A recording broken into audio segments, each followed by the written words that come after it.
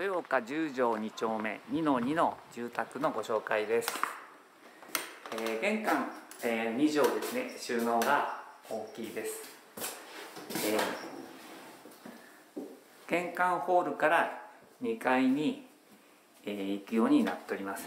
また玄関ホールからおトイレですね、えー行くようになっております。えー今に入ります。今は16畳の広さがあります。窓がね大きなのが2つついております。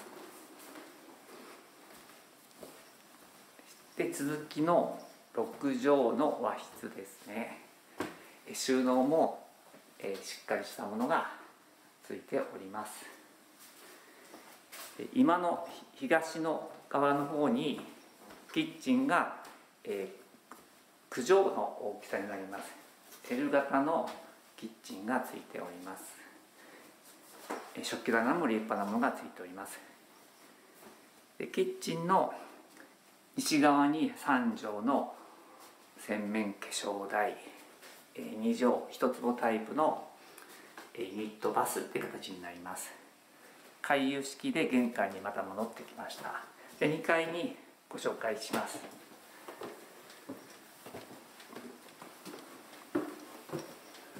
2階のホールですね。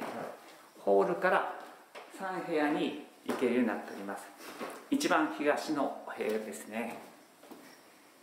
ここが7畳半ですね、えー大きな窓がついております。収納も1畳半ついてます。真ん中の部屋は和室になります。和室の8畳間ですね。一部板の間になってましてタンスとか置けるような仕組みになっております。で2階の一番西側の部屋がこちらになります。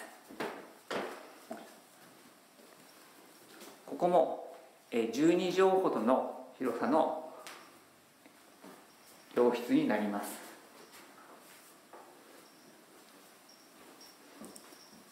で玄関の上はこう吹き抜けになってます。でここに一部ですね、1畳ほどの収納になっております。